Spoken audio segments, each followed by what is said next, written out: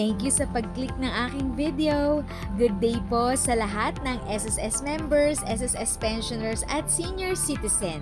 Sa mga bagong viewers at napadaan lang, by the way, I'm Tita Eda. Welcome to my channel.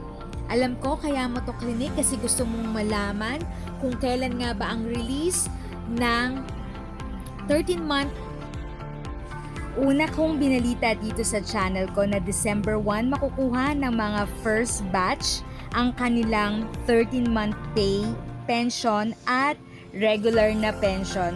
Pero yun nga po ang good news, nagsimula ng i-credit starting today. Actually kahapon pa po, meron ng ibang nakapag-check ng kanilang SSS uh, account or SSS bank at na-credit na nga daw po.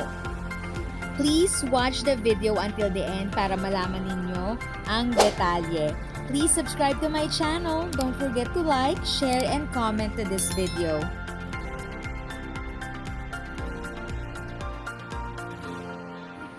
Ito na nga po ang ating good news para sa ating mga qualified pensioners. At bago po ang lahat, advance Merry Christmas and Happy New Year po. Opo, tama ang inyong nabasa sa title. Maaga nga pong nirelease ni SSS ang pension para sa mga first batch na ating mga qualified pensioner. So, ang expected date po dapat is December 1, pero dahil nga po holiday, mas maagang nirelease ni SSS So ito po ang mga proof ng mga nag-comment sa aking um, Tita Eda's page at yung iba naman ay aking nakita sa Facebook. So credit po sa mga nag-post na ito. Maraming salamat kasi mas ta- maaga po tayong na-inform. So yun na nga po, kung wala kayong um, online banking, so pwede naman po bukas So, ibig sabihin, hindi naman na kailangan mag-antay ng 4pm because yun yung usual na time na dapat kayong mag-check ng inyong regular pension. Pero dahil nga po pinaaga, inuulit ko, ito ay para sa mga first batch na may date of contingency na 1st to 15 pwede nyo na pong makuha both or pareho nyo makukuha ang inyong 13 month at inyong regular pension. So, doble po. Talagang good news at magandang balita po talaga to sa ating lahat na ating mga senior citizens, sa ating mga senior uh, citizen SSS pensioner.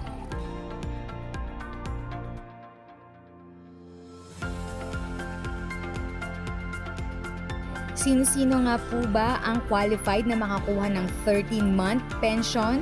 So, unang-una, ito po ay mga retiree pensioner, Sumunod ay ang mga survivor pensioner. And then next is yung mga total disability. And then makakakuha din po yung mga nag-lump sum or nag-advance lump sum. Makakakuha din kayo. At yung mga nag-partial disability, uh, qualified din kayo makakuha ng 13-month pension pero dapat na-complete nyo ang buong 12 months, hindi pwedeng kulang or sobra para kayo pasok at maging qualified sa 13-month pension. Reminder po ulit sa lahat ng ating senior citizen na ang date of contingency ng nirelease ngayon at nakaschedule dapat ng December 1 ay yung mga may date of contingency na 1 to 15. So ito po ang basehan ng date of contingency. So para sa mga retiree pensioner, ito ay ang petsa ng kapanganakan o kung kailan na kompleto ng pensioner ang qualifying condition para sa uh, retirement benefit. So and or or po yon kung ano po yung nauna or kung saan nyo po na-complete. Depende po yun kay SSS. Pero yan ang basihan. Para naman sa mga uh, Survivor pensioner ang petsa ng pagkamatay ng miyembro. Yun naman ang basehan. And then para sa uh, total disability pensioner, petsa ng operasyon, pagtatapos ng pagkakasakit o petsa ng physical examination. Alin man ang naaangkop para sa total disability pensioner. So, wag na wag po tayong malilito ating mga senior citizen, ating mga SSS pensioner, ating mga lolo't lola Yan po ang basihan. So, ang makakatanggap dapat ngayon ng 13-month at regular pension ay yung may date of contingency na 1 to 15. So, ayun nga po talaga ang magandang balita at good news sa lahat.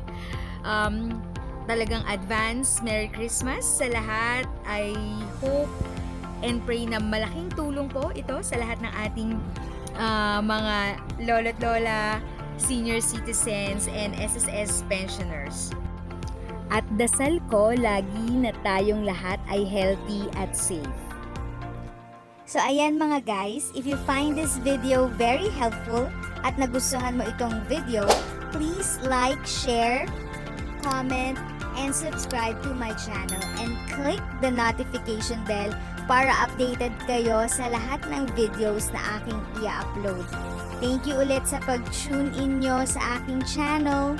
Again, this is Tita Eda. If you have a questions and you want information, just visit Tita Eda's channel. Continue to be a blessing and stay safe.